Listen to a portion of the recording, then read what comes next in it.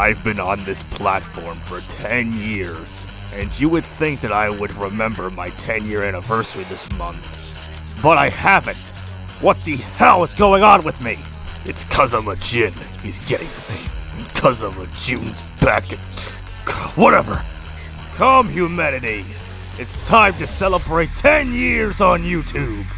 February 14th, 2014, I started my YouTube path of glory.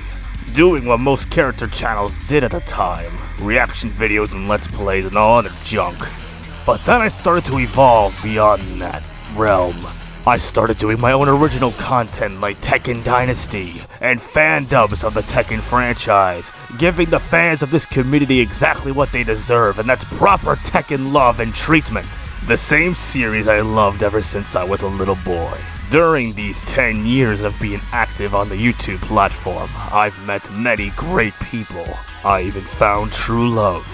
Individuals such as Xiao Yu the Panda Girl, Devil Jin, Nina Williams, Marshall Law, Armor King, Ew, Heihachi, and ugh, there's two Jins now! They're spreading like a damn disease! Though I have also faced many hardships in the past too, and challenges that always awaits me. I would like to give a very special shout out to someone that we lost in 2018, the individual who ran the Ancient Ogre channel, Chris. We miss you and we love you. I would also like to give another very special shout out to Jun Kazama, my IRL girlfriend. I know I'm speaking in character right now, but she has always been there with me ever since I started this channel. And I would like to thank you very much for helping me gain the confidence and every ounce of motivation I needed to complete this journey and get to where I am now because of your love and admiration. I love you.